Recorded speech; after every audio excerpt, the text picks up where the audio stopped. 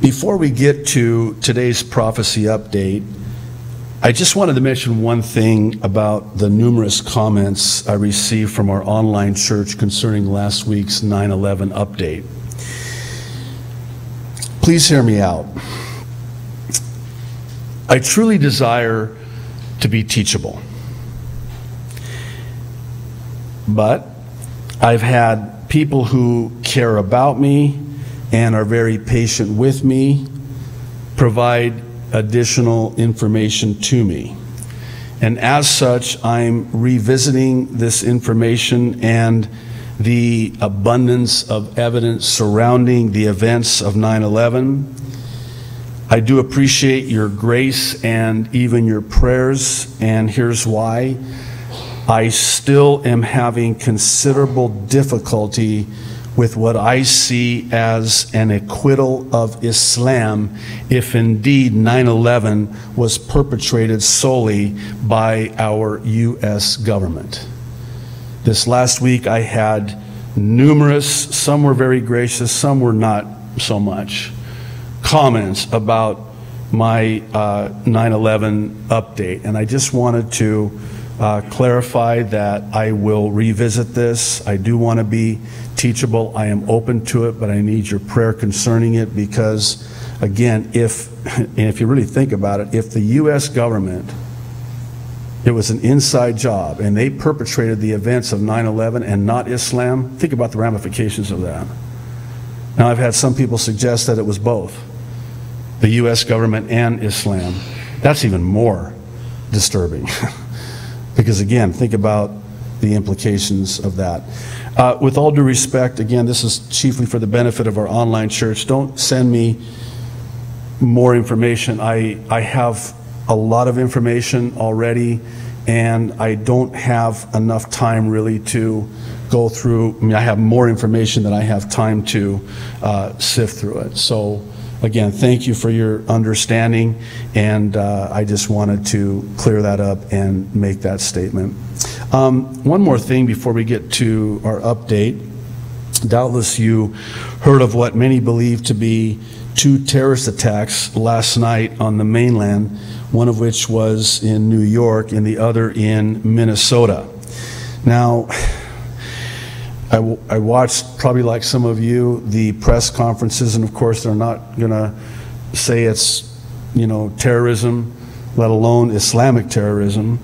But, and it seems that in large measure, not surprising, the media is scrubbing and even censoring any mention of Islam and the role of Islamic terrorists in these attacks. But there are numerous reports that both were perpetrated by Islamic terrorists. One credible source is reporting that in the Minnesota mall stabbing, the Muslim, which eight people were stabbed, and then the Muslim man was uh, shot and killed, but he was asking victims if they were uh, Muslim. And he was shouting Allah o Akbar as he was uh, doing this.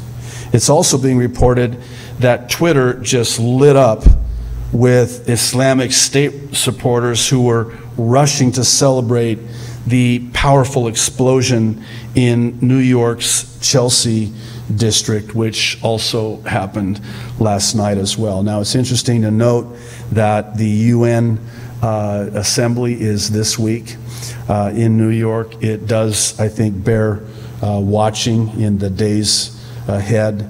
Uh, and I would also add it's probably uh, something that we would do well to pray uh, concerning. Let's get to our prophecy update. Today, I want to draw to your attention seven recent developments that I believe have profound prophetic significance.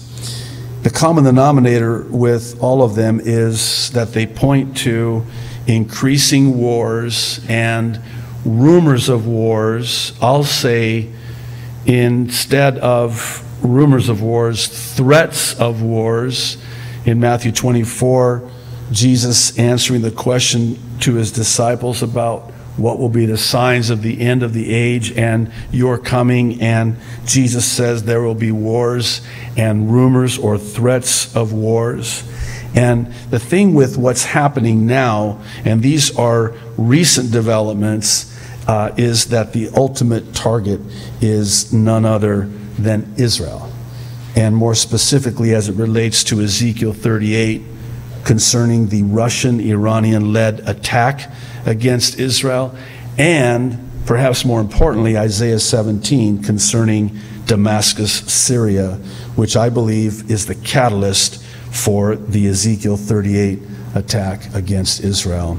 It's important to note that while these developments have been in the making for some time now, it's now, today, that they're moving at what I say and call breakneck speed, and they do so in real time. So much so that just this last week we saw an unprecedented shift of the geopolitical landscape in the Middle East. So, I'm going to go quickly, uh, but what follows, it's not in any particular order, but what follows, I would argue, are the top seven developments of profound prophetic significance that we as Christians would do well to watch in the days and weeks that lie ahead. Again, not in any particular order. The first development is the recent shift concerning Russia and Israel. On Friday, Arutz Sheva published an article in which they ask Will Putin push Israel to talks with the Palestinian Authority? In it, they say Putin spoke with Netanyahu regarding the possibility of renewing contact with the Palestinians with Russian mediation. This report was received from the Kremlin spokesperson. According to the report, the two agreed to continue to discuss the possibility of gathering a summit of leaders in Moscow, not the U.S., in Moscow, and agreed to continue to work together to overcome the challenges facing the two nations on a local level. It is worthwhile to note, listen, that lately the Russians have been working on a series of communication exercises meant to try to pressure Israel and the Palestinians into holding a meeting between Abu Mazen and Netanyahu. This meeting, if negotiated by Russia, would, and this is interesting, increase Russia's authority in the Middle East, the authority that we basically signed over to them. And not just Russia, but Iran with them. Well, the second development is the ever peculiar relationship between Russia and the United States, namely between Putin and Obama. I'm going to put a picture here on the screen. This is being dubbed the Obama Putin death stare. Listen, I've stared at this death stare. If looks could kill, two presidents of two nations would be dead Obama and Putin. I mean, it is, it's, it's kind of like, you know, you almost want to put a caption, you know, Putin's going, don't even think about it. And uh, Obama's looking down, and so, you know, it's just kind of, is that weird? It is, right? Yeah, I know they have clinical terms for that way of thinking, but anyway. It was taken at the recent G20 summit in China. What a cold, cold reception uh, between the two leaders. Uh, to me, it's, it's a textbook case, you know that saying, a picture is worth a thousand words. I think this photo says it all. And so does this Washington Post article that was published on Friday about how Putin wants revenge and respect, and hacking the U.S. is his way of getting it. Quoting the Post, the recent spate of embarrassing emails and other records stolen by Russian hackers is President Vladimir Putin's splashy response to years of what he sees as U.S. efforts to weaken and shame him on the world stage and with his own people. Putin is seeking revenge and respect and trying to reassert Russia's lost superpower status at a time of waning economic clout and an upcoming Russian election. He's saying, if you think you have the chops to do this, well, we do too, said Fiona Hill, a national intelligence officer for Russia during the George W. Bush and Obama administrations. The third recent development is, and this is huge, it's the emboldening of Syria vis a vis Russia. By the way, let me, before I forget, say that uh, it was just breaking news this morning that Russia walked out of the UN, uh, a UN security meeting yesterday when Samantha Power, the U.S. ambassador to the UN, implied that Russia was not dealing uh, fairly and honesty, and honestly and above board. And Russia was so offended they just walked out. It's getting really bad. This, this is really serious. I don't know how to, uh, even if it's possible to overstate it. Russia has basically come in and taken over. And now the United States, for all intents and purposes, just about has to get permission from Russia before they do anything in the Middle East, particularly Syria. Well, on Tuesday, the Jerusalem Post published an analysis in which they asked this question Is an Israeli Syrian military conflict on the horizon? I, I, I just wonder do they know what Isaiah 17 says? Because that's exactly what Isaiah 17 says. According to the Post, the firing of two missiles, have you heard about this developing this last week? Just this last week. Uh, the fire, this is only Tuesday, it gets worse. The firing of two missiles at Israeli aircraft bears witness, listen, to the growing confidence of Assad's army.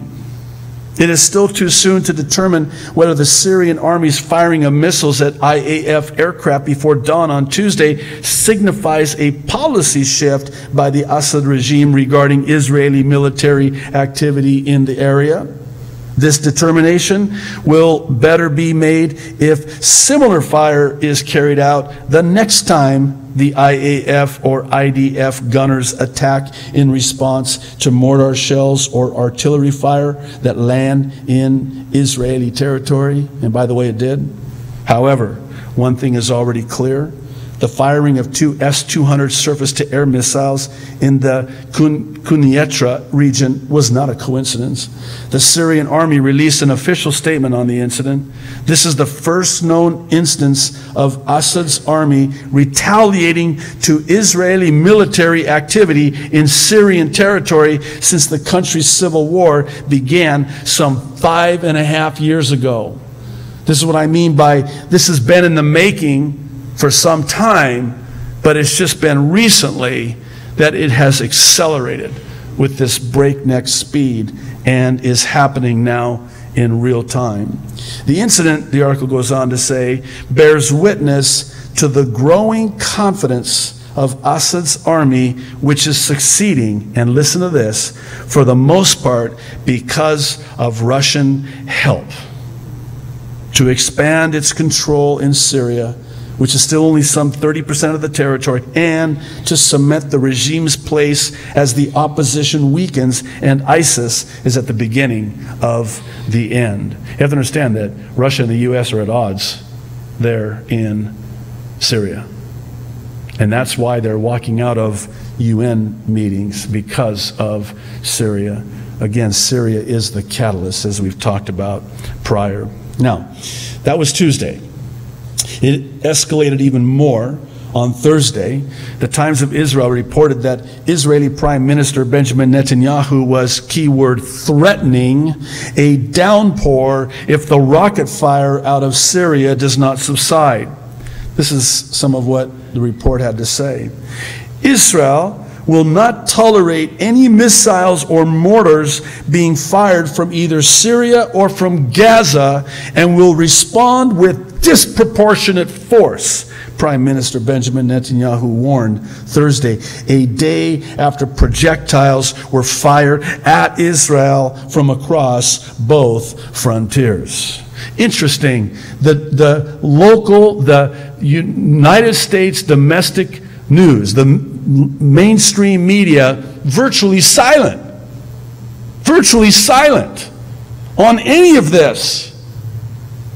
Netanyahu said that the country will not continue to absorb rocket fire, not from the north or from the south.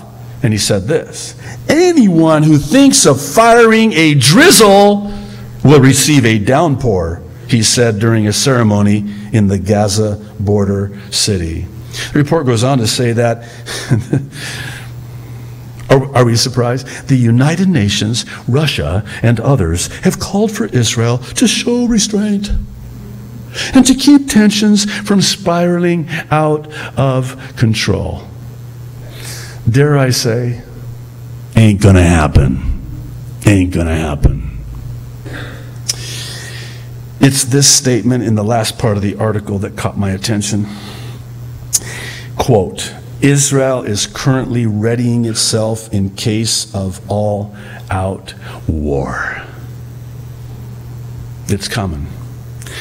The fourth development it's the increasing tensions between Saudi Arabia and Iran. Again, all of these developments, the common denominator, Ezekiel 38 and Isaiah 17. This is Ezekiel 38, more specifically, verse 13, where we're told that Sheba and Dedan, the ancient name for Saudi Arabia, will only protest this alliance of nations that attacks Israel. In other words, something's going to happen between Saudi Arabia and Iran. Well, it's happening. It's happening. Listen to this threat.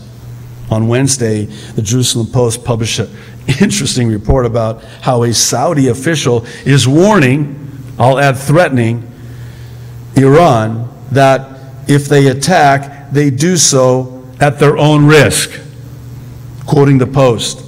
A senior Saudi official responding to Iranian criticism of Riyadh's management of the Hajj pilgrimage. Remember what happened last year? urged Iran to end what he called wrong attitudes towards Arabs and warned it against any use of force in its rivalry with the kingdom. It's happening. Verse 13, Ezekiel 38, is happening. Sort of ties into the fifth recent development, which is the increasing tensions between Israel and the U.S. I, I think you know this, but sadly, it's getting worse seemingly by the day. It's pretty much a foregone conclusion that the United States of America has turned its back on Israel. Now, I know some would argue, well, didn't we just sign one of the biggest uh, financial aid packages to Israel in history? Uh, be careful. Uh, there's strings attached. There's strings attached to that money. And, and make no mistake about it, Netanyahu is not stupid. He understands exactly what's going on. Well, last Sunday, Israel Today had an article about how Obama is fuming after Netanyahu schooled him on real peace. Prime Minister Benjamin Netanyahu at the weekend uploaded another YouTube video this time taking at the assertion most often made by the Obama administration that the presence of Jews in Judea and Samaria, the so called West Bank, is an obstacle to peace.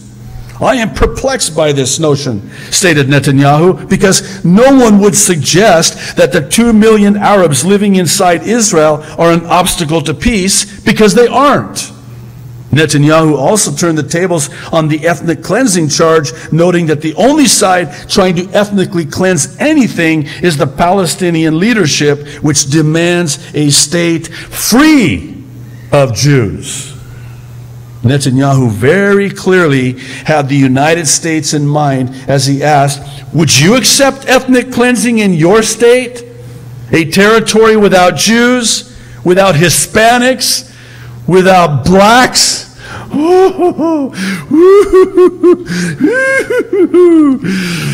wow. The connection was not lost on the Obama White House. We obviously strongly disagree with the characterization that those who oppose settlement activity or view it as an obstacle to peace are somehow calling for ethnic cleansing of Jews from the West Bank, U.S. State Department spokeswoman Elizabeth Trudeau told reporters. Are you kidding me? Trudeau added that what she called Netanyahu's inappropriate and unhelpful remarks are the current topic of probably heated discussion with the Israeli government. Again, it's going to get worse. It's going to get worse. The sixth recent development is the increasing Iranian threat to Israel, no thanks to the United States and the President of the United States. On Monday, Arutz Sheva quoted Israeli Defense Minister Avigdor Lieberman as saying that Iran is Israel's greatest threat. When Lieberman was asked what he thinks constitutes the greatest threat to Israel, he responded by stating that the greatest threat to Israel is Iran. This is Israel's greatest challenge and its greatest threat. I'm reminded of what Isaiah said that there's a curse to those who call good evil and evil good. We have called Israel evil and we have called Iran good. And there is a woe, a curse to those who do. Again, this ties into our seventh and last development, and it's that of the ever increasing Iranian threat, not just to Israel, but to the United States. Now, you've probably noticed this recurring word, threat or threatened, in everything that we've looked at in these recent developments? Well, on Tuesday, Breaking Israel News reported on Iran threatening to shoot down U.S. military jets in the latest provocation, the latest provocation implying that there were previous provocations. And that's what's happening. Have you been hearing about this? Well, here's some of what the report had to say. In the latest in a string of provocations by the Iranian military, Iran threatened to shoot down two U.S. Navy surveillance jets flying near Iranian territory in the Persian Gulf on Saturday, Fox News reported. Again, I'll, I'll mention it. How many of us can get out of our minds that image of our U.S. men on their knees before the Iranians? Some of them weeping. I mean, this is unthinkable. I, I think about the America of the past under a President Ronald Reagan. you imagine this? First of all, they wouldn't have done it in the first place. They wouldn't have done it in the first place. But with this president, under this current administration, in this present America, they know they can get away with it, and that's why they do it. The article goes on to say the planes ignored the warning and continued in their flight path Iran did not pursue. We wanted to test the Iranian reaction, one U.S. official told Fox News. Listen to how they spin this. Listen to how the officials spin this, okay? It's one thing to tell someone to get off your lawn, but we weren't on their lawn. The U.S. military classified Iran's behavior as unprofessional. Unprofessional? Merely unprofessional? This is an act of war. This is a threat of war. Unprofessional. They, shouldn't have done that. Bad boys. Sorry. Iran's behavior, this is the, they classified it as unprofessional, though not unsafe. Unsafe? As according to intelligence, Iran did not have missile launchers in the area. Oh, really? Anytime you threaten to shoot someone down, it's not considered professional. The official said, anytime someone threatens to shoot someone down, that's a war. That's an act of war. Am I losing my mind or is this just unbelievable? Well, here's the bottom line in closing. All of the aforementioned developments point to the fulfilling of significant prophecies in the Bible. And as I mentioned at the beginning, it is, I believe, incumbent upon each and every one of us to be watchful in the days and weeks that lie ahead. Let me lastly say, and I do this and say this every week If you don't know Jesus Christ as your Lord and Savior, now is the time. Today is the day of salvation. Call upon Him today. Romans says, All who call on the name of the Lord will be saved. If you confess with your mouth and believe in your heart, and you call upon the name of the Lord, you will, not might, will be saved. Why don't you stand and we'll pray.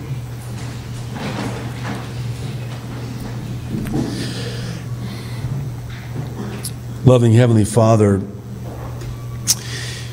we see how fast everything is moving and how things are quickly developing on a daily basis now. Didn't used to be like that. And Lord, we're thankful to you that you told us this would happen before it started to happen this fast. You've told us what's going to happen before it happens, so when it happens, we'll believe. And you've told us that when we see these things begin to happen, begin to come to pass, that we can look up and lift up our heads knowing that our redemption draws nigh. Lord, I pray for anyone who has never called upon you that today they would call upon you and be saved so that they too can look up and lift up their heads with excitement.